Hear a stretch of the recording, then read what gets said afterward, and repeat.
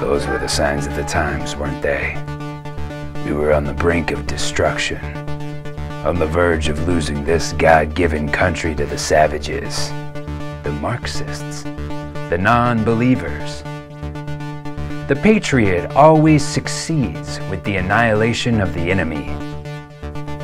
The new season of America begins tonight. Remember, America, you are the star. God bless America. God bless the soldiers. God bless the Republic. We'll be seeing you